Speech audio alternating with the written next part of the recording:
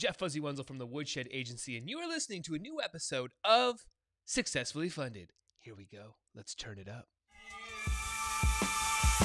Turn it up. Yeah!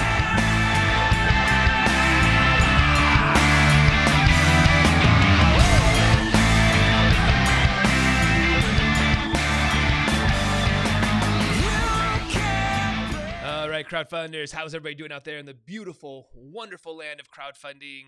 I am your host, Jeff Fuzzy Wenzel, CEO of Woodshed Agency, and the host of this podcast, Successfully Funded.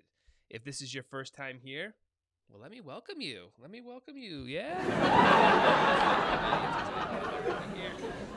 My sound effects going again early. Put those sound effects in quick on this episode.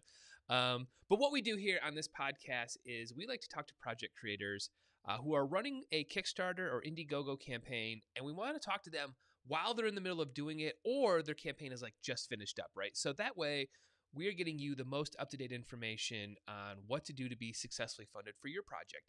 And today is going to be an amazing episode. It's episode 227. We're going to be talking to uh, Patrick Malleret from the company Sockwa, uh, and he's running a Kickstarter campaign right now. It's for the X10. Uh, it's like a form fitting shoe, really, really state of the art, tons of amazing, cool features in it. And uh, they've got they've raised over one hundred ninety seven thousand dollars with uh, just under twenty three hundred backers, and they still got twenty three days to go. So this campaign is trending uh, roughly to about well, let's go check it out here. Let's see what they're actually at here. Let's look at it real quick. Yeah, so they are. This is the campaign page here. Let me pull it up here. Uh, so you can see that they are doing really, really well. So they're trending to about two hundred eighty-five thousand dollars. You can see that this is the shoes. I recommend, you know, if you haven't already, go check this out. And like I said, it's Sockwa X10. Uh, so this is going to be our interview coming up here in just a little bit. But yeah, go check out the page, check out the rewards. You know, re- Patrick's got an amazing story. I actually first talked to him eh, about three years ago about this exact campaign. Um, we ended up not working together. All good on that, but uh, it was great to kind of reconnect with him uh, on the campaign. So yeah, so that is um, that's that's what's going on over here. That's who we're going to be interviewing here in just a little bit is Patrick. So I'm super excited for that interview coming up here in just a little bit. And again, if you want to fast forward through this, if you're watching this on Facebook Live, you can. But if you're on the podcast, you can just fast forward and get through all the uh, you know all the stuff I'm just talking about. Also on our show today, our musical guest is going to be Sam Lawton, um, one of the bands I recorded back in the GBS days. So again, if you're a regular listener, you know that we've used used to close the show out with all Sugar People music. Uh, but now what we're doing is uh, uh, showcasing some of the bands that we recorded over the uh, six years or so at GBS. Uh, and everything you're going to hear at the end is live recorded all in one take. So really, really great performance from uh, one of his songs about six years six six years ago or so. Um, but that's going to be coming up in just a little bit too. So what else is going on? Well, we got the we got the inaugural. Well, today no school today. Martin Luther King Day. Happy Martin Luther King Day. Let's get that uh that, uh, that one and then the Taking off my uh, my sound effects. Maybe I'll get some new sound effects. I don't know. I'll have to go out and look for those, but um don't don't this is what I have so far. I also have the, the bicycle horn. That's not too bad. Uh, it's not my favorite, but um yeah, so it's we got the inauguration this week. Super excited about that. Let's see what that sounds like. Yeah. Um yeah, and I'll, I gotta imagine. I gotta imagine. I'm gonna probably get a little emotional for that. I mean, you know, it's been a long time coming. Um, maybe the chaos dies down just a little bit, but man, I am hoping that everybody's gonna be safe and no ridiculousness happens. But who knows? I know Sunday was supposed to be a, a day. You know, stuff was going to happen there, all the capitals, but apparently that was it was pretty quiet from all the news feeds and all the sources I've looked at. I know here in Michigan there was supposed to be a big rally at our capital, but I don't think people showed up as much, which is great. But yeah, so no school today, so kids are just hanging out. I'm not gonna lie, I feel great this morning. I, I slept in a little bit. Got up at like 8:30. Man, got up. Haven't even really had breakfast yet, but I'm just going, man. I just wanted to get this podcast episode up because I was super excited about it. But um, yeah, other big things, man. We got a new kitchen floor this weekend, Woo! um, which was awesome. Uh, yeah, my sister and her wife Kate came over and kicked major, you know what? Um, and we put in a new kitchen floor. And it, I'm gonna, I keep saying we. I was the official um, DJ for the event, so I put on a lot of really good music to keep the energy up. I also ordered the pizza. So those, you know, those are important things to be doing. Um, you need to have those people. Otherwise, the floor might not have got done. Now, granted, they did most of the heavy, uh, most of the actual work of cutting the boards and then placing them and moving ovens and furniture. Oh, and and taking apart the old floor. So they did a lot of the real work. I just went ahead and, um, like I said, made sure the music uh, was just on point, and I think I did a pretty good job. I'm not gonna lie. So I have realized that in this whole, um, you know, owning of a house and fixing everything, I've got a few specialties that I, you know, you don't get talked about a lot on on like this old house or Bob Vila. One flashlight holder. I'm really really good at that, right? Because you know, in that one, you make you want to make sure that you're not um, you're not putting the flashlight a little, you know, right on the thing because then you can't see it as too bright. You want to make sure you're not getting it in the person's eyes, right? So you want to really make sure that you're in this sort of sweet spot. I mean, that's a lot of work what I'm describing right now. I mean, seriously, it really is. So I'm really good at that. I'm also really good at making sure that the food selection is like on point for work, right? You don't want to have something too heavy, too light. You want to make sure, and you want to make sure you get stuff that like people enjoy, right? So you got dietary restrictions. That's a lot of work. That's a lot of work. So I got to do that, which is fine, but I'm good at that. And then last but not least, making sure that the music selection is absolutely on point. And that is really where I come in. And I think really bring an A game that is uh, unmatched. Unmatched. So again, if this old house wants to get in touch with me, Jeff at woodshed.agency, I'd love to hear from you. I'd love to maybe do a sec, uh, maybe a segment on the show around, you know, sort of the fringe things that are necessary to get big projects done. And you know, we're gonna do countertops soon. I gotta, I gotta think about what kind of playlist do we need for countertops. Yeah, yeah. How about that? So, what else, man? Great football yesterday. I watched some football this weekend you know, there really isn't anything much better when it comes to the football world than than NFL playoffs. I think it really is kind of the best, right? So I got to watch some of that last night. I watched little, little Patriots uh, or not Patriots, excuse me, Tom Brady and the uh, Drew Brees. You know, that's just come on, it's been a long time, right? But the Bucs and the Saints last night, so that was nice. I got to hang out there um, and uh, enjoy just a little bit of wine while I was uh, watching the watching little sports. And uh, newest thing too is just taking a lot of walks, man. Been walking the dog you know, getting getting myself and Buddy out there walking and walking with our friends, uh, the Demonts, you know, which has been nice. And uh, you know, it, it's a nice little quick break. Going to be doing that today around two thirty. Going to take a quick little little break from uh from the from the sending of the emails and the making of the podcast to go do that. So, yeah, super exciting day, man. This is going to be a good week. I think I think you know we should all yeah really put on this like let's put this energy in the world man let's put it out there in the world and like let's let's let's let's have an amazing week. That's how I'm feeling because it's Monday. It's Monday. It's 10 in the morning. We're kicking it off. Um, you know, I'm excited about this episode. I hope all of you guys stay tuned and really, uh, you know, again, if you're thinking about running a crowdfunding campaign, there are a few things that you should be uh, thinking about doing, right? So, one, don't do it alone. Go over right now to woodshed.agency and click on anything, right? You can click on the blog section tons and tons of valuable information there. Every Tuesday, we've got a new blog that comes out. So that's one thing.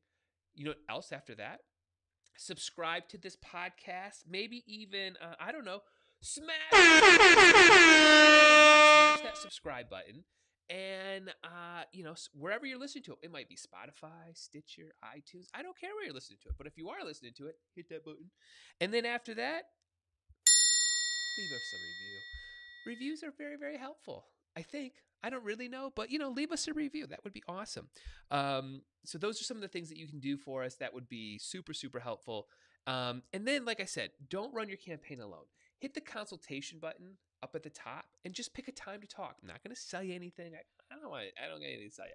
Just have a conversation with me. Walk through, you know, what your strategies are going to be, how you're going to get the crowd built before you launch. Again, it's called crowdfunding. So those are things that you can um, that you can do that free of charge, right? They don't cost you anything. Do those things and um, at least make sure that you're in the right mindset and the right frame before you launch this campaign. And I say all that because in this interview coming up here, Patrick and I are going to talk about it over and over and over of like just making sure you're in the right headspace to truly go out and have an amazing campaign. So, with all that said, man, super excited for this episode. And make sure you guys stay tuned at the end for uh, this performance by Sam Lawton at Groovebox Studios. It was outstanding. And again, all recorded live, one band, one room, one take. So that's coming up here just minute too. So with all that said, why don't we go ahead and kick it over to my interview with Patrick and let's talk about Sockwa X10 over on Kickstarter. Here we go.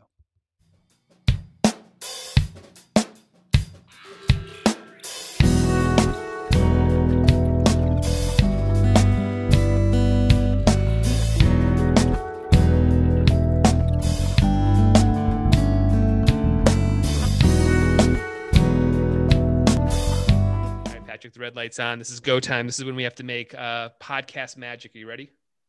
Okay, go for it, Jeff. All right, Make cool. Let's- magic. yeah, let's do it. Let's make the magic together here. So let's do a simple sound check here. What'd you have for breakfast this morning? I had absolutely nothing yet. Nothing. Man. I know it's it's been a busy morning. Okay. All right. Now, is that normal or is that just a busy morning? It's just a busy morning. Just a busy morning. Okay. All right. Cool. Awesome. Well, I think we're sounding good. Why don't we jump into it? We won't talk more about your busy morning. Um, we'll talk actually more about your crowdfunding campaign. So, why don't you do me a favor? Why don't you uh, uh, introduce yourself and tell my listeners uh, what you're raising money for uh, over on Kickstarter? Okay.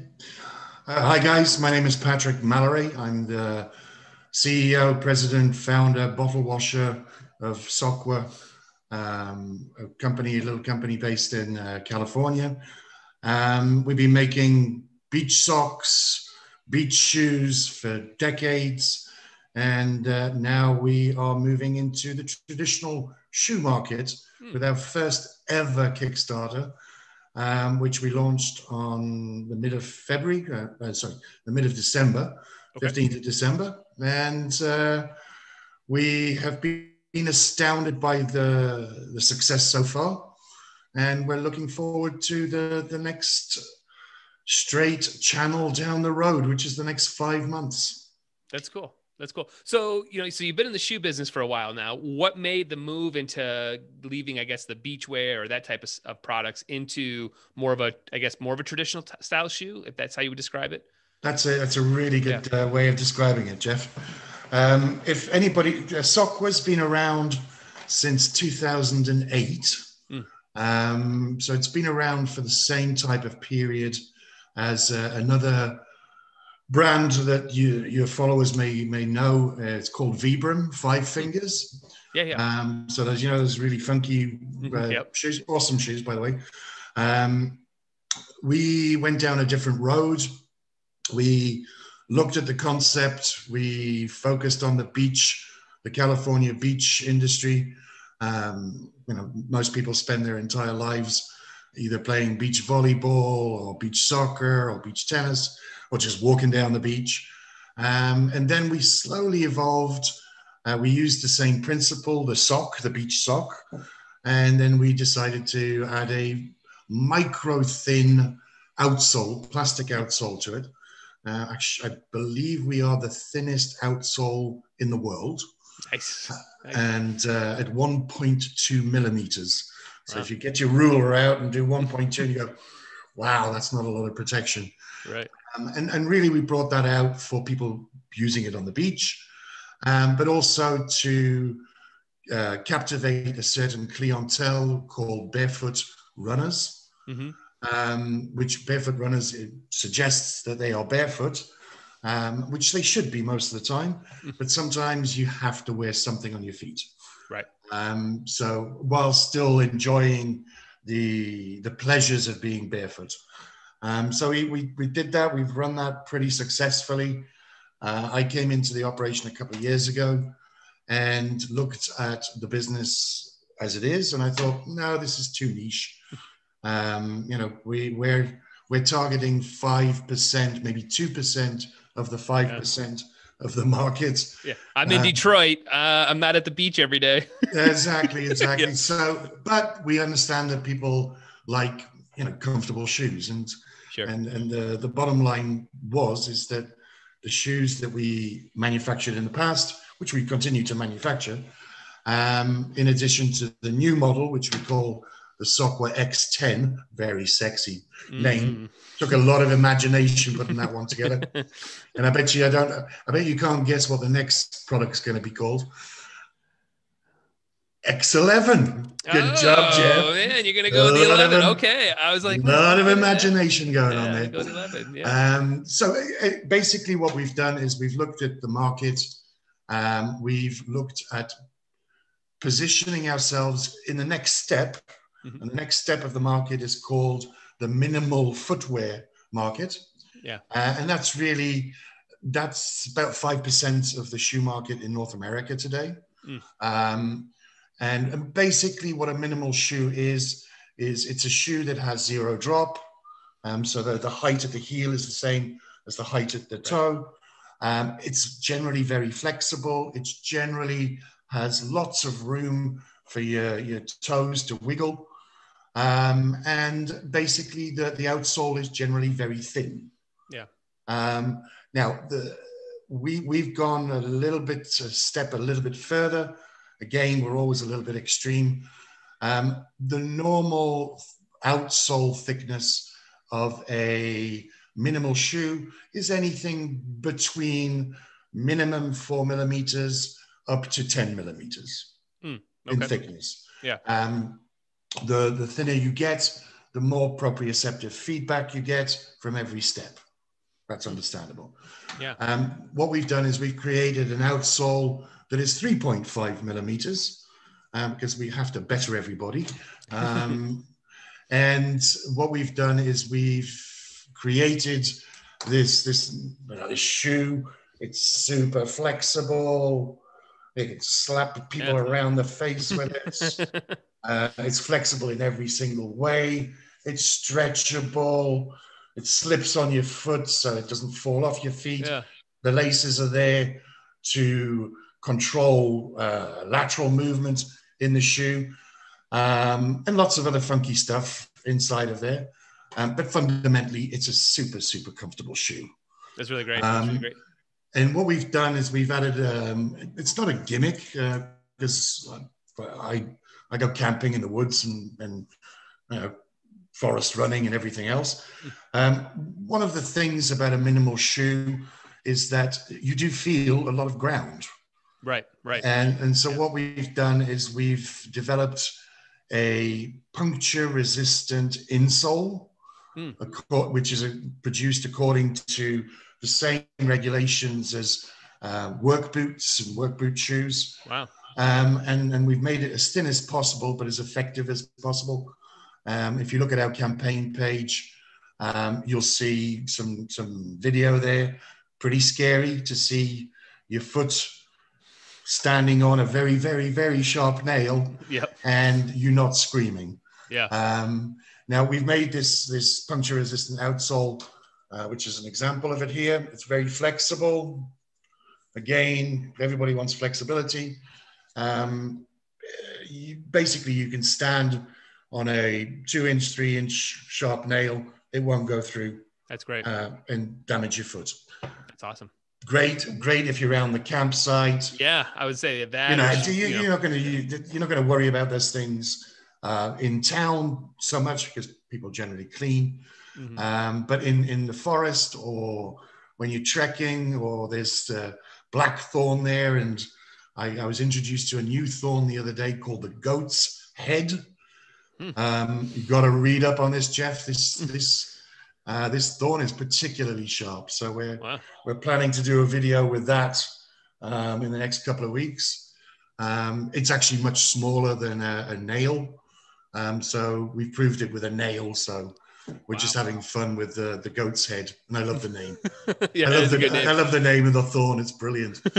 that's a good one. Um, So, so what starts the process for you guys as you're kind of moving from, you know, other other types of of shoe products um, into this? Is it prototyping? Is it do you, you know? Do you already have sort of that world built in, you know, prototyping, manufacturing? Is yeah, it yeah. easier we've for you guys to sort of navigate into that? It, it, it is, it is. And, um, you know, let, let's be realistic, Jeff. Um, you know, we've, we've just gone through 2020. We're just debuting 2021. Mhm. Um, for a few months of the year, the beaches were closed. Yeah. Yep. Yeah. And- Uh, one of my beach- clients is a uh, beach uh, or a travel accessory in e-commerce. We didn't have an amazing year. Um, Yeah. And then, Yeah. then you take on the, the retail stores were closed. Uh, the academies, the, the beach volleyball, beach tennis, Mm-hmm. beach soccer academies were closed. So we we had to think on our feet. You have to be, as an entrepreneur, you have to be flexible. You have to make decisions, and you have to make decisions that you can manage. Right. Right. So, and that's that's the key area. So we decided we we looked at uh, we've been looking at uh, crowdfunding for a couple of years. Um, it's it's a it's an exceptionally exciting phenomena and model, Mhm. but people really don't understand how much work, Yeah. how much money that you need to invest for you to be successful. Yeah. They actually believe there's a lot of the population out there that believe that they just need to slap a video on Kickstarter Yep. and it will go viral. Um, I there probably is one that did that, um, but I don't know which one it is. Yeah. Not many. Um, yeah, there's always a exactly. unicorn out there. I always love that people find it and they're like, that's what we're gonna be like. It's like, well, or that might have been a one-off. I think a little bit of a. Um, so, so what we did is we we looked at it like a, a like a general business problem. Yeah. We want to go into a market. We know nothing about the markets except what we read on on on the internet. Mhm. Um, it looks fantastic. We we our eyes grow big when you see the likes of Tropicfeel and Yeah. and Vessi and and we think, well, our shoe is actually better than that.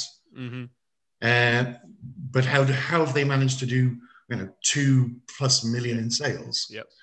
Uh, well, we consequently we found out um, we're not we're certainly not at two million, um, but we're doing we're doing okay. We're, Yeah. doing okay. We're doing well. We're doing more than okay. Um, so now now we've realized that there is a game plan, providing you and we've made lots of mistakes, Jeff. Oh, it's, seriously, if I was to count all the mistakes I've made in the past three months putting together this this crowdfunding campaign, it would exceed the mistakes I've made in the past 10 years. Yeah, But it's good to make them now. You got to make them now, not you know when you have inventory, you uh, you know, fifty thousand shoes you got to move, and then you're starting, exactly, then you're starting to make uh, those mistakes. Yeah, Yeah, so so we, we're we're coming at crowdfunding from a, a, a bizarre point of view, um, or a different point. Mhm. Um, I, I I liken I liken crowdfunding to infomercials of five to eight years ago. yeah, yeah. No, I, I yeah, we're aware. That- yeah, That yeah. that that is it. That is it. And there's again, I think I think crowdfunding will evolve in the next couple of years, um, quite substantially. Yeah. Um, because it, it is it's basically it's an internet infomercial. Yep, yep. And, and we're, and we're, we're, we've seen a lot of very well established companies starting to come over to this as their product launch vehicle. You know it changes the the math equations are different behind the scenes the They- they amount of risk the you know you know do i have to produce 20000 units and hope that a buyer wants it for big box retail?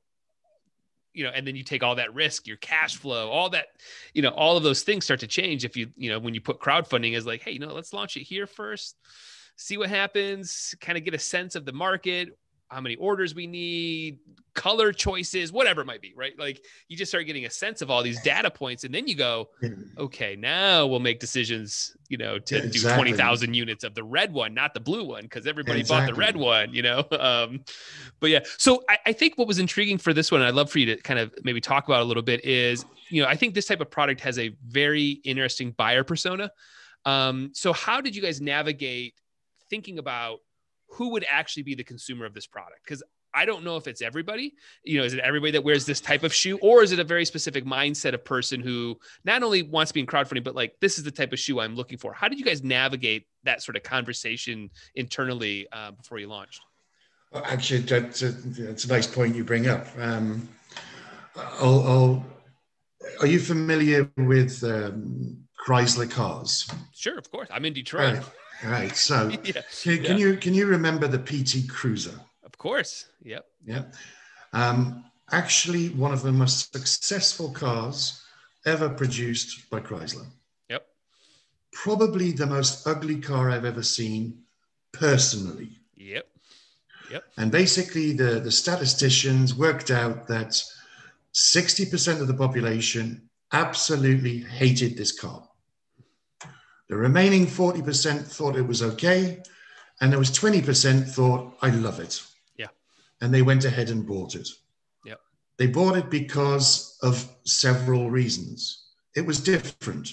Yep. It was funky. It was quirky.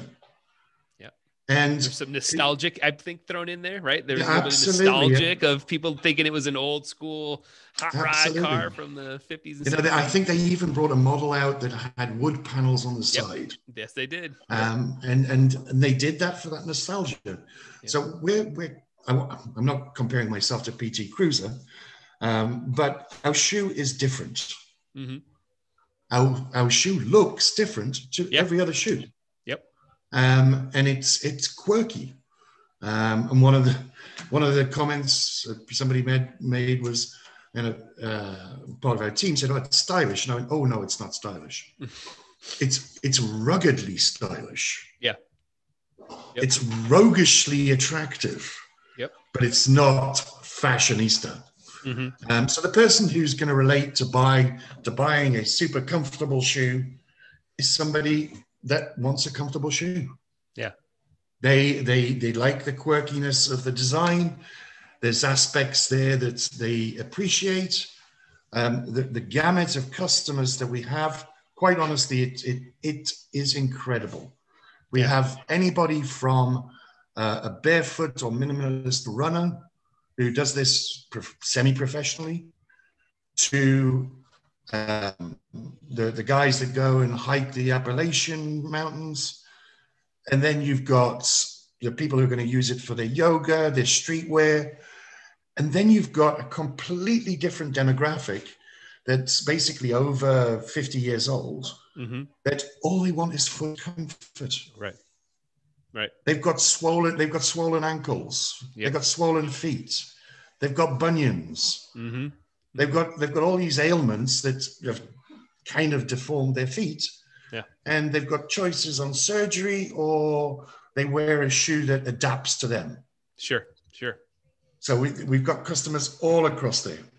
So, so Um, even inside of that, I mean, even though that you are still a niche shoe company, you're not Nike, right? You're not making basketball shoes, right? You're not that. No. So even inside of what you're talking about, there still is four or five personas in there. Now, how do you start to navigate the content needed to at least speak to them without alienating somebody, or at least not going so big that your market is now everybody, but not going so narrow that you're kind of repeating what you were talking about with the uh, um, know, the beach shoes, right? It's like it's Yeah. just people on the beach all the day. So how do you sort of navigate that? Because I think when I look at the page, I think you guys did an amazing job of, you know, I can see my sister is the person who would love this shoe, right? Like I see her in this, right? I can look at it and go, oh yeah, that that represents my sister would be totally into that, right? Hmm. Um, so how did you guys sort of navigate that content? Because I think again, with crowdfunding, super super important that you're representing. Well, we, we've, we've got a we've got a slight advantage, Jeff. We've done this before. Right. And and that the bottom line is is that we've done it before. What what we haven't done before is we've never included the the puncture resistant aspect. right. Um, and uh, I'll tell you a funny. St- it's not necessarily a funny story, but it's a it's a story for other uh, people who do crowdfunding campaigns. Um, so we we've, we we obviously we decided on including a puncture resistant insole. We knew that during a certain period of the campaign, we would have to introduce the insole, explain it. Mhm. Um, so what we did is we chose one of our updates and to, to, to do the explanation. And, and we showed an image of, um, of a young man walking on a bed of nails. Mm. Yeah. And I, I thought I, I thought it was great. I thought it was great. But here's where I made a mistake. Is I, I didn't figure that people would question this. so all of a sudden we got like lambasted with emails and messages and social media posts saying, oh, that's really easy. Anybody can do that with any shoe. And I'm thinking, no, you can't. Mm. But okay, uh, do it on one nail. Right. And I'm thinking to myself, okay, if it was one person, I'd go, all right, come on. Yeah. But we're talking dozens and dozens and dozens Yeah. of people that said the same thing. Yeah. So what we did is we it actually gave us an opportunity to re-attack our customers. Yep. And this is why, you know, sometimes if you make a, a mistake, it's not the end of the world. Yeah. Long as you can adapt and react, then you you get positive from it. So what we Well, did is we I mean, that's the, that's the benefit of crowdfunding too. Is this this taking this crowd information and not hiding from it and not being hiding open. from it. It's such a smart community of people. You know, they're they're actually kind of they want you to communicate. They want Yeah, you to they- come they- back with a real answer. And if you hide from that, that's actually when the problem is. You know. Exactly, exactly. Yeah. So, okay, I basically said to everybody who, who posted, I said, look, I didn't think of that. Honestly, and I didn't. Yeah. And what I'll do is I'll have a look at it and I'll pop up a video in another couple of days or in a few days. Yeah. So I ended up we we we reposted the the video, um, and to show and it's it's graphic. You people have got to see this. This basically you see this foot just going onto this massive sharp nail and just slowly going down, and you you just cringe when you see it. Yeah, yeah, yeah. Uh, but the reality is, is and, and then what we did was we had the courtesy to go back because we were very polite. You, you have to be polite. Yep, yep. Uh, we were very polite, and we went back and said, you know what? Thank you very much for for bringing this to our attention. You've actually helped us in our customer service. Yeah. Yeah. Because they did, and our sales went up. Yep. And those people that were sitting on the fence about including the insoles, we saw a, a shift. Yep. People actually adding the insole to the to their their basket. It's crazy. So It's crazy. that that's again the, what I'm trying to uh, give over is that you know you can make mistakes, but be honest. Be honest with your crowd. Yep. Tell them what you're doing. Go through with what you say you're going to do. Right. Post it, and then th- actually thank the people. Yeah. Yep. Thank the crowd for for for actually giving you feedback that you didn't have before.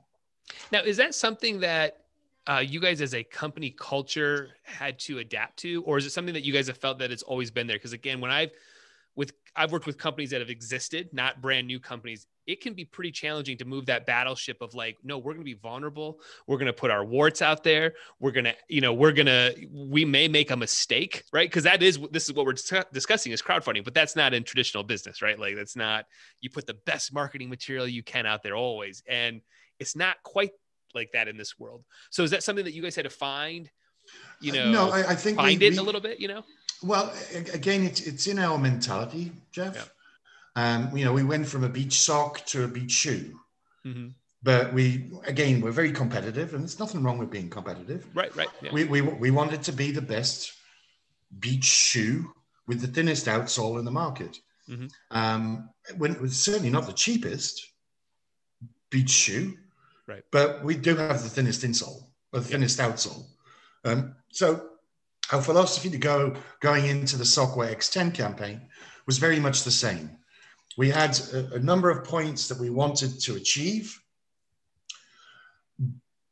but we looked at what we wanted to achieve not only for this campaign, but for another six to 12 campaigns. Sure. Right. So it was, we looked at it a little bit like a franchise. Mm. You know, in the films, franchise films. Yeah. Yeah. And so we, and again, the, the crowd gives you the information you need Mhm. for your next campaign. Um, I, I can give you examples. Uh, people want this product to be waterproof next time. Right. They'd like they'd like to see a boot. Yep. They'd like to see it waterproof and a boot. Yeah. They'd like to see puncture resistant outsole right. and option within sole. Yeah. They they want fleece lined. Yep. Yeah. So basically, they're just telling you, like, they're literally telling you your products, you know, like, It's awesome. make They- this. they- Yeah. Yep. Make this, I'll buy it.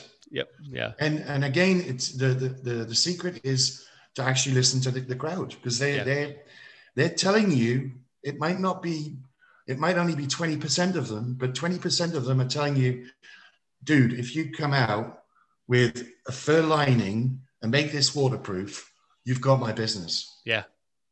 Yeah. Yeah. So That's- guess what? Guess what? Yeah. Go with go go where they're going, right? You know. Exactly. Yeah, don't have to reinvent the wheel. Over this whole process, what did you find that it was keeping you guys up the most at night? What was the thing that you were like, man, we really have to make sure we get this. This is our like core DNA.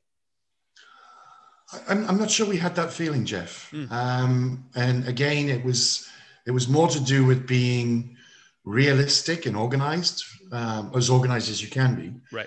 Um, before you launch. Yeah. Um, and w- we we have made some mistakes where we we know we've made this mistake. Um, we haven't we didn't solicit enough uh, PER public relations um, before the campaign. Um, we, we should have done a lot more of that. Mm. Um, and and we'll know for the next time. Sure. Um, you know, it's uh, it, once once the campaign gets going and and it and it's funded and you know that you're able to produce. Um, and this is the thing that that for me, we were going to produce. Right. That was it. Yeah. We, we head down. Okay, we need this much. We can produce this. Um, and, and I think that's the key because I think I see a lot of crowdfunding companies that are coming with um, concepts, Yeah. but once you get round to the, the amount of money that you actually generate, you don't have enough money to fill the concept. Yep. Yeah, it happens all the time. It's And I and, it- and it and it pisses people off, Jeff. Yep. Oh, I know. It hurts the entire crowdfunding community. It hurts real companies. It hurts guys like me who are like, you know, I, I might have been a part of stuff that, oh, I know I haven't. I've been doing this 10 years. I've, I've been a part of companies that just couldn't deliver. They just didn't do their math correctly. You know, they didn't realize how much the mold really was, you know, and they wanted to just set a goal of, you know, or they just went, hey, we, we want to just raise 30 grand. Yeah, but you needed 75. Where are you I- getting, you know? I, I- Um, again, I, I had a guy. I had a guy the other day, and, and it's funny. The, the crowdfunding communities is it's it's very transparent, Yeah. very honest. Yep. Um, and and the guy, he he was actually honest. He put his his Kickstarter up there, and he was asking for three hundred and eighty four thousand five hundred dollars. And after three days, he's looking at his his uh, his figures, and he's got nobody Right. Yeah. Cause it's, is because again you have to Yeah. look at the the reality Yeah. The people who are going to look at that they're going to go he's never going to make that he's never going to make it. Yeah. he's never going to never make gonna it never even gonna come close but to he was honest but he was honest he was honest so yep that, that that's uh Oh, it's a strange enigma some audio here real quick hold on a second here let me see here hold on hold on hold on hold on what you got there yeah is your mic on? Yeah. All right all right. So an- an- anyway so this campaign three very honest asking for $384500 and no he's not going to make it. He's Yeah. not going to make it. And that's that's a reality. You you Yep. sell sell what you can make. Yeah. So, you know, as you're getting closer to launch day, what are you looking for internally behind the scenes to say we're ready to launch? You know, we have a is there data points you were looking for? Is there a, a timing factor at all? What are you kind of putting together to say, all right, let's hit that launch button? Well, for, for us, it was um, it was the pre-reach. Um, so we did an extensive amount of pre-reach by Facebook Hmm. um, before the campaign. So we we generated. We obviously had the the, the fortuitous position of having um, our own database of customers. Um, that that was uh, that was a great help, um, and and basically making sure that we were getting the outreach and people were aware of the product before the launch. Yeah. Um, you know, it's it's it, pressing that green button, Jeff, at, at that moment where you're pressing the green button and you've got zero sales there. um, I think that was the, the the moment that was both euphoric and quite and quite depressing actually, Yeah. um, because you go, I got nothing at the moment. Press the green button, and you're crossing your fingers. Yeah. And then we, were- we were very fortunate that a lot of people ordered straight away. So That's that right. Big deep breath after that. Oh, big deep breath. Big deep breath. Uh, so, so you know what we're looking at here. I mean, we haven't even really talked about. I mean, you're up over one hundred ninety thousand dollars, over twenty two hundred orders, with still twenty six days to go. So a lot of time in the uh, campaign here. Yep. Um, what you know, what were you thinking about when it came to like a goal number?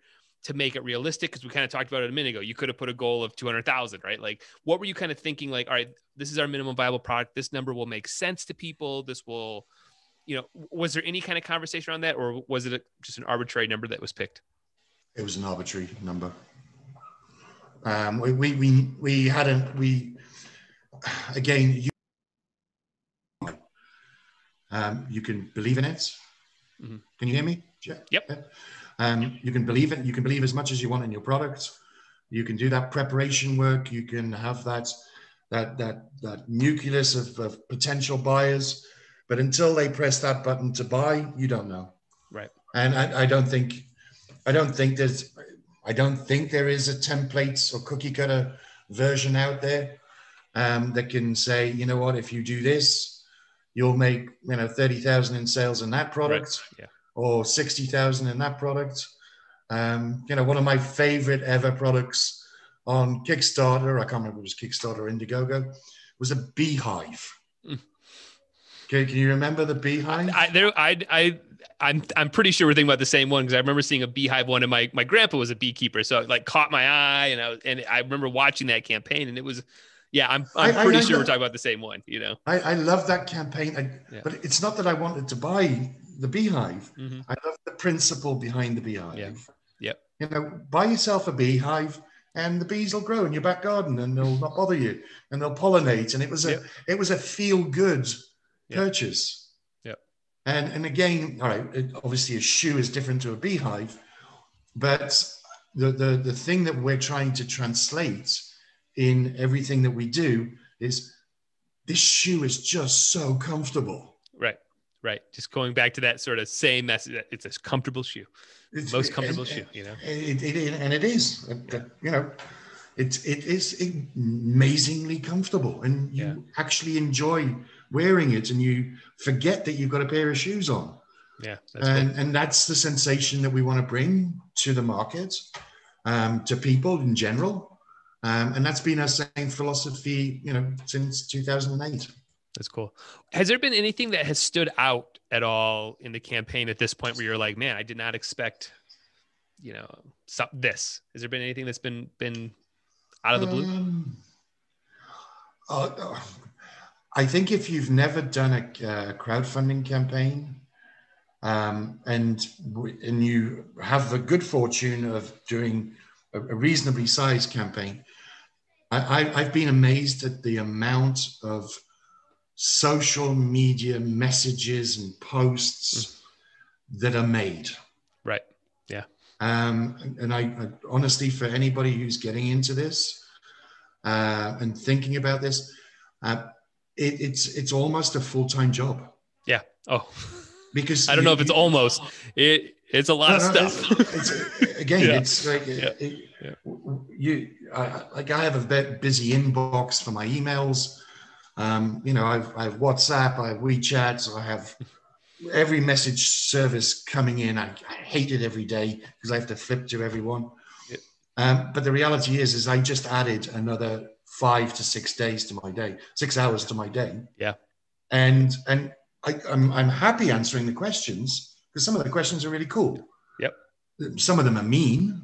Some of the comments are mean spirited. Yep. Yep. Yep. And and one thing that I've I've learned I've made a, I've made a couple of mistakes. I've dropped my hat on customer service a couple of times. Mm. Yeah. Um, and it probably at the end of the day when you're tired and everything else, and you make a you, you don't make a rude comment, but you make a um, a straight comment. Yep. Sometimes you need to not press the button. Yep. Yeah. And just you look, give yourself the next yep. morning. Yep. Look at that message again and say to yourself, you know what? We, look at the question again. Is that person really ask is is complaining or is it just their way of asking a question? Yeah. Yep. So I, have done that again. I've done that two or three times, um, in in the past 30 days. And again, what I've done, my approach to that is to say, you know what, I'm really sorry. That was Yeah. mean spirited. Yeah. Yeah. And, it's uh, it's you a know part what? of it. Yeah. Uh, again, uh, I, I've done it a couple of times, and, and it wasn't what I said was what I wrote was a little mean spirited. Mhm. It wasn't nasty. It was mean spirited. Yeah, yeah. No, it, it exists. It's a, it's well, there's a part when you're running these campaigns that you just you you get so much of it, and you're just like, Hmm. I feel like I've already answered that like ten times, and you're like, Like, like, are you reading what I'm writing? scroll up, or you know, just like you know where it is because you're in the weeds, but they're just they were on it for three seconds and they just wrote something, you know, just that. Yep, and that's uh, and again, you've got to appreciate that. So, Yeah, no, uh, 100%. any- anybody anybody doing a crowdfunding campaign, and it's mildly successful, be prepared. Whether it's yourself or, or get an employee, Mhm. uh, But- or even even subcontract somebody Yep. to who's able to answer all the questions because Yeah. there's a lot of questions coming. Yeah. There's the the sweet spot that you want to try to get to is when the community starts answering Oh, I love the that. I- questions. when that happens, you're like, all right, all right, that's that, that's this person will handle it. Yeah. and, and and I've seen that so many times during this campaign. Yep. To the point where I've, I've act- actually had to write to the the crowd, the hive, to say, "Whoa, calm down!" Right? Yeah. There's, that, that's there's no need to go down this road Right, right. Because they, they they they in certain cases they become a little bit nasty, Yeah. Oh, I know. It's and you know you, you can't you can't be using pejorative language. You know, No. just because you disagree, you're like, "Whoa, stop that! Don't do that." whoa, whoa, whoa, easy. Now all of a sudden they're like a representative of you, and you're like, whoa, I- you got to get back in and reel it back in. Yeah. It's, uh, It's not fun. These, yeah, but these, this is what is, this is the rodeo, right? That, that we're in right yeah, now. it is. It fun. is. It is. It is. So you know, so with 26 days to go, I mean, what do you do to keep that energy going? Keep this, um, just keep the energy up, making sure that that trough of despair, that middle part, isn't really, really low, um, and you're just keeping, uh, you know, keeping orders coming. What are you guys doing to just keep that energy up right now? Well, I, the, the the thing that we we we kind of structured the the campaign. And don't forget, we had our campaign over Christmas and New Year. Right? Yeah, I know. Um, not that it wasn't our fault. Yeah. The pandemic. Basically, we had we were scheduled to do the campaign back in October, beginning of October. Um, but we couldn't do the filming. We couldn't do the. This was locked down. That was locked Right. down. Yep. And and and the the the days become weeks, and then all of a sudden, you you ask yourself, okay, it's the fifteenth of December. That's our date. That's a really crummy date Yeah. and you you you you scan the internet for advice and and people go oh you don't want to be doing that Yeah. But i i think and this is where we had to make um, a psychological step in the right direction we basically went you know what this year is not like every other year Yeah. so the rule book is actually out Right. And yes, we've got a 58 day campaign. Yes, the traffic we know is going to slow down between Christmas and New Year. Um, but people are going to be at home. Yeah. Right. That's that's the other, and they're used to being at home now, hmm so they're probably more likely to go shopping Right. online. Yeah. And they're going to go shopping online because there's such a thing as Boxing Day sales. Right. They're, Yep. they're looking for purchases. So they've got their mentality of purchasing already on. Yeah. Um, so we, we, we did see a dip in, in between Christmas and New Year. It wasn't as big as we expected. Mm. It wasn't big as we expected. Wow. And we knew that the next tranche of time, so that, by that time, we're 21 days into the campaign ish. We Mhm. knew that the next bit we needed to work on more uh, communication. More pieces, more videos. Um, next week we come out with another update. We've uh, we've we're gifting the world a foot exercise video. Hmm. We've developed some exercises for strengthening your feet. We we've spent a, we've spent a bit of money making it look nice, and we, we just we want people to have fit feet. Yeah, that's cool. So here you go. Just that's that's our update. Um, a lot of people have said, "Well, you're not selling anything. There's no call to action there." I don't think you need a call to action all the time. Yeah, yeah, you can't have one all the time. You just some you got that's content marketing. You got to put stuff out. You have to be an expert. You have to you have to do stuff. Not everything is even right now this is not a sale. I just want to talk about crowdfunding. Just talk about it. Let's, you know, yeah. be a, be an expert in your space. So if you're in the feet and the shoe business, be an expert in it. Talk about it. Talk about the world. So, so what happens? You know, money comes in. You know, a couple weeks after the campaign ends. What starts the process of you guys getting the shoes into people's hands, uh, or feet, I should say, maybe get them on people's. Very feet. good. Very good. Very good. okay, okay. So there's um, the, the shoemaking business is not everybody understands the shoemaking business. Well, there's cobblers, uh, right? You just go. They're in trees. They live in trees, right? With the yeah, something like that. Something, like, something that. like that. Okay. Yeah, something like that. Okay, maybe I um, don't know then. okay, so um, everybody everybody would like to design a shoe. Mm-hmm. The designing bit is easy. Um, people would like to go and produce a shoe, and then they absolutely poop themselves because they go, "You need to spend that much." Yeah. To build a shoe. Yep. Uh, yes, you do. There's molds. There's uh, now we're, we're we're fortunate. We're using molds that we've already paid for. Right. So we've so bringing the product to market. We have our factories that we've been working with for the past six years. We've we've been transparent with the factory. We've we've even done a, a mini production run uh, of 200 pieces, mm. so that the factory understands different sizes, etc., right. etc. Because one of the things we're planning to do is we're planning to upset the apple cart um, because we don't believe in imperial and European sizing. Hmm.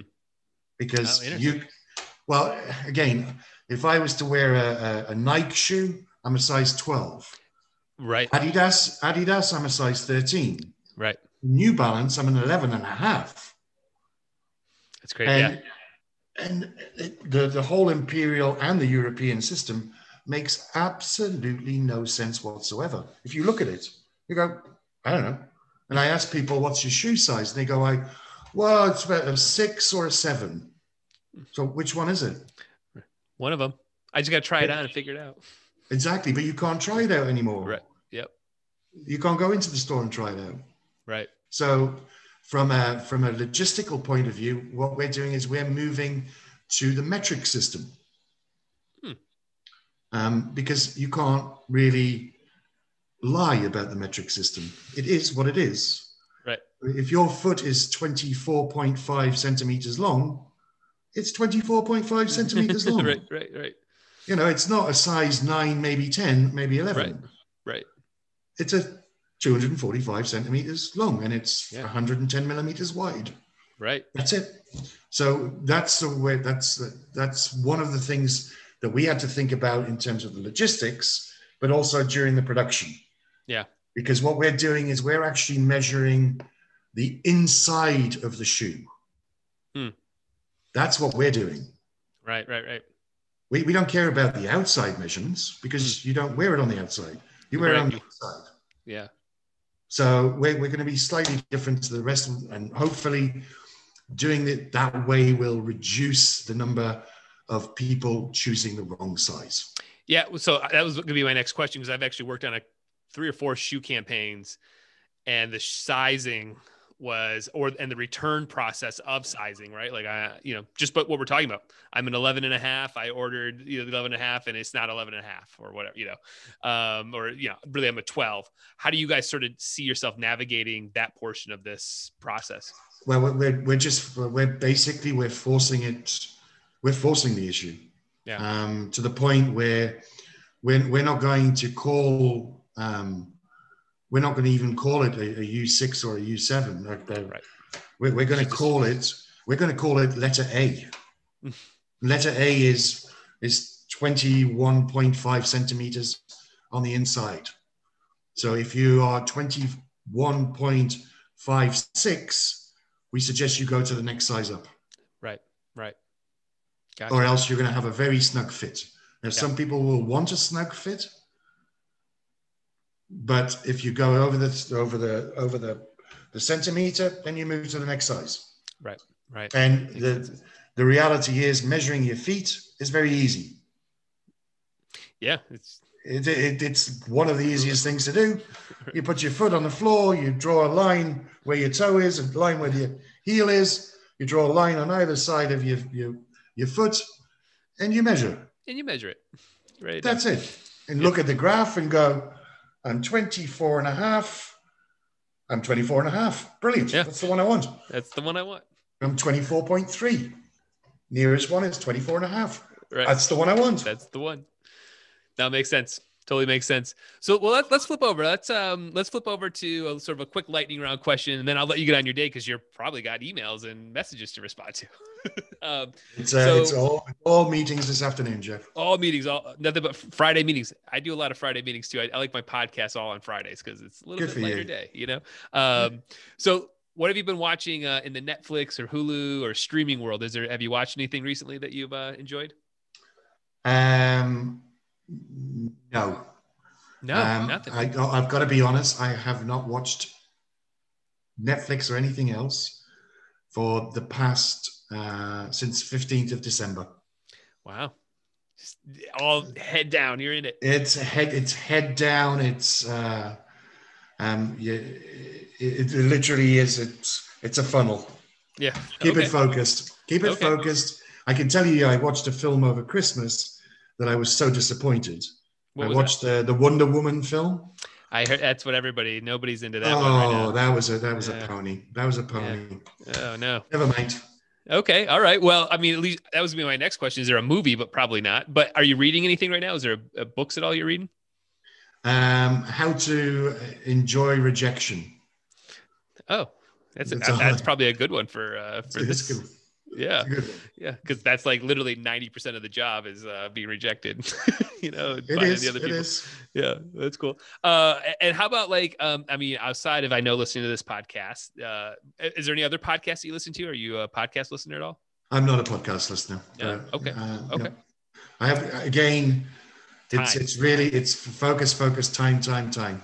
Yeah. Now we've got a, we've got another project uh, going on at the moment, Jeff. Um, it's it's for. Are you, familiar with uh, neoprene sleeves for your beard? Mhm. yeah yeah yeah yep. Um, we've we've patented a a competitor to that. oh nice So we're just we're building that that particular company up. Um, that's called Drink Cup. okay Um, so that a lot of my time is split between Sockwa and yeah Drink Cup.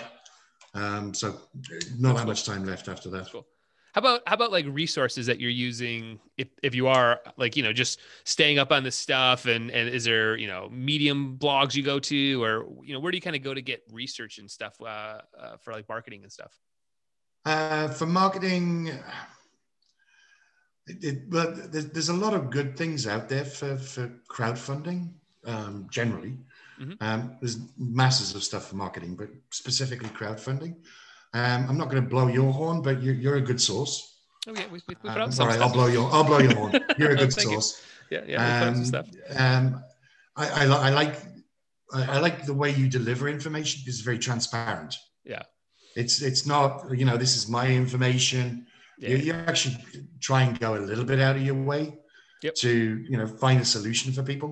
yeah like I've, I've got I've got one at the moment. Is we're looking at uh, we've been approached. Oh, maybe this is a good um, secretary in the, in the, in the conversation. Um, one of the things we didn't know about when we started the campaign was the number of Japanese crowdfunding agencies that we would be contacted by. Yep. Um, absolutely amazed. Yeah. And but nobody can tell me who the best one is. Right. So it's a kind of a free for all. Yeah. Yeah. So, and I'm, and I'm speaking to one person. He says, "Oh, you don't want to do that, and and how are you going to get your money?" And I'm thinking, well, they're paying wholesale, Right. Um, and then you've got the others that just want to act as your agency. Mhm. What, what's what's your opinion on the Japanese? Uh, the best way to approach the Japanese crowdfunding platforms? You didn't realize you were being interviewed as well. Yeah, you know, we've shied away from it. We have found that it can potentially be more headache um, unless you really think your product's going to take off there. Um, yeah, we have focused. We we just so much shied away from it flat out. Um, we've just had more headaches than positivity. Positivity. So maybe it just hasn't grown up. We've had a couple campaigns that started there and then came to us, and again they did such small numbers that it just again felt like just a lot of waste of time. Um, so that's that's kind of that that's where we are right now um, mm, in, in, the process, and you know, but again, maybe it is the right fit or, or a good next step or something, but I don't know. Well, again, this, this is a, a, little bit. You asked me a question earlier about you know the, the kind of the long term. So the way that we've looked at this entire crowdfunding campaign is is it is a it's a six month campaign. Right. Yep. From oh, actually, it's a six and a half month campaign mm-hmm. from the moment you launch the campaign. Yep. I'm not talking about the period before that. So what what we've done is we've we're using the the campaign to actually solicit distributors and wholesalers in other countries. Right.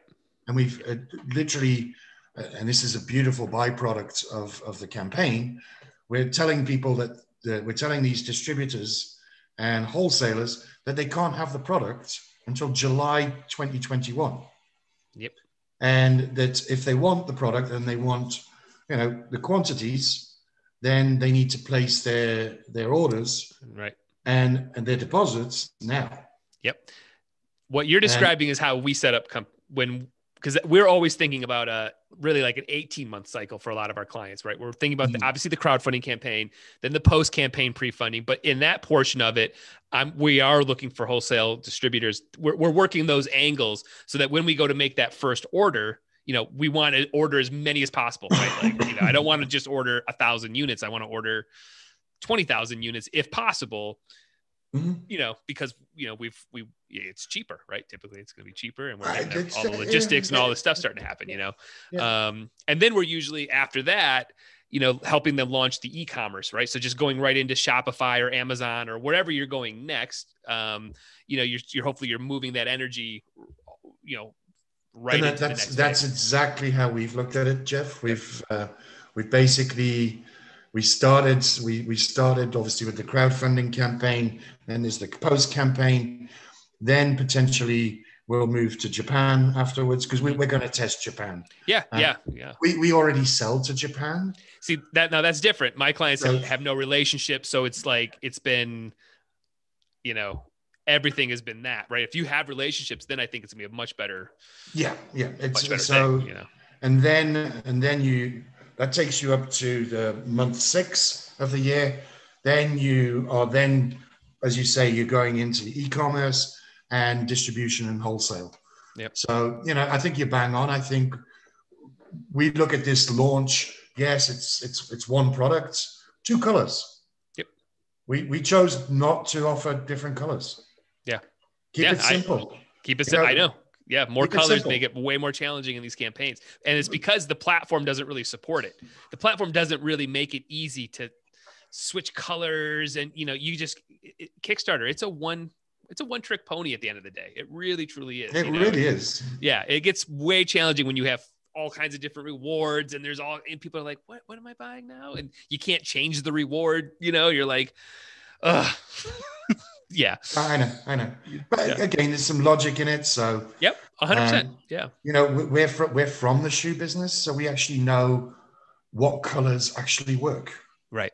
Right. And yep. as much as you like to have lime, red, and yellow, mm. yeah, no, no, no, they nobody buys them. Yeah, right. right. Three people yeah. buy them. Yeah. And, and then, then, you say, but you asked for yellow, but it's not the right yellow. Right. Yep. I know. So okay, you know what? Keep it simple. Yep. If we do special drops in the in the future, which we will do, yeah, then we'll do special drops in the future. Yep. And that's but, but a lot of times those aren't crowdfunding campaigns. Those are little one-offs, little one-offs, deals. Absolutely. They're not what you're you're not working an entire year on it. You know. No, Uh, no, no. Yeah. I if it, again, uh, Jeff, if I had if I had it again, I probably wouldn't even put the white in there. I, yeah. I I know. Uh, yeah. I can see that would be why there's a ton of logic into having the one color, you know. And the only only times that we would add it is if we really had a, unique stretch goal strategy or add-on goal strategy. Yeah. But even at that point, it just gets more and more. You start murkying the narrative. You know, it's just. I, I, I don't. I don't I don't know what your uh, what your philosophy is about stretch goals and and all the rest of the stuff. I think that's I think you have to respect the buyer. If you Yeah. if you again they're, they're, they're coming in, they're looking at options. Too many options, you, you're going to kill yourself. Yep. Yeah we stretch goals for us we've done a lot in like fitness categories where there was just there was actual upgrades that could happen right but they were small upgrades that you wouldn't crowdfund you know a bar on top of the thing you know so it's just like all right well listen if you want to buy the bar that's fine we still start with that minimum viable product of like you're this is our bare minimum this is what you're getting Yeah. and then if again when you look at the strategy and you say all right we're going to roll this out week two week three we might roll out this but even that, we're starting to lose that more and more and just go right into like, this is the thing. You're buying this widget. That's it. It's, just it's yeah, you want that or not? Yes or no? Move on. it, it does what it Yeah. does, and that's what it does. That's it. That's it. No more than that, you know, and just let it be that. And then, you know, that's where we go back to clients and we're always talking about like, just know, you know, you're going to have this audience. So, you know, you might, if you got, you got, you have 2,200 buyers on Kickstarter, right? Sell to them later. the, Mm. the newest thing, right? Just send an email and say, Hey, we put this up on our Shopify store. If you guys want it, you know, Yep, doesn't mean you need to murky it up in the Kickstarter campaign. So, exactly, exactly. but yeah, but this is awesome, awesome conversation. So where can people dive into your world? Uh, where, where, you know, if you want to, you know, obviously we'll send people to the Kickstarter page, but how can they kind of just get in your world and just see what you guys are working on? Um, where should Uh, go? go go to go to our Facebook page, um, Sockwa X10. Cool. Um, that's really you know if anybody wants to um, direct message me or whatever, you, you can do that through there. Um, go and have a look at the campaign. Go and have a look at how we we answer questions. Or you know, I'm not saying we do it perfectly, but we, I think we do it okay. Yeah. Um, um, yeah, that's that's pretty much what we have. If you want to look at what uh, what we our other models, our other models, you can see at sockwa.com. Um, as you see, very imaginative, sockwax10.com and sockwa.com. Um, and uh, if you want to look at other products that we do, um, then you'd have to go to genecos.com, G E N E C O S.com. Very cool. Well, Patrick, I appreciate you ta- taking time out of your day. This was an amazing Oh, conversation. thank you, Jeff. Thank It you. was so great. So great to, I love talking to people who were, were in it. Um, and I, I hope our listeners really enjoy this conversation because this is what it's like to run a campaign. Absolutely. this, this is what it is. So, all right, Patrick, I appreciate it. Thanks so much for your time and uh, good luck on the rest of the campaign. You got a lot of time left. So uh, keep kicking butt, man. Thank you, Jeff. Have All a right, great now. afternoon. Thanks. All right, everybody. How about that uh, conversation there? Yeah, it was a good one. Oh man, I got Steph cranking on here. Yeah, it was awesome, man. Patrick, again, thank you so much for taking time out of your day to uh, to chat about your crowdfunding campaign. Super, super, super great. And I hope you guys enjoyed it too, man. There's a lot to unpack in there. Um, just kind of reviewing it, even myself here, sitting here listening to it, man. We we really got into a lot of topics. So again, make sure if you're thinking about running a crowdfunding campaign, go to woodshed.agency right now pick a, a, time to talk. Go to my consultation button. Go to the blog if you want to read there. Subscribe to the podcast. Remember, sub- smash that, right? Right. Uh, let's lo- let's let's have our musical guest on, man. Uh, we got Sam Lawton um, from uh, yeah, it's just Sam Lawton. He's not even from a band, and uh, he came to Groovebox Studios um, roughly about six years ago or so, and uh, did a seven song um, set for us. And this is I, I thought the song was just amazing. So why don't we go ahead and check that out? And I'll talk to you all on Thursday with another episode. So till then, stay cool, and uh, we'll talk to you all later. Bye now.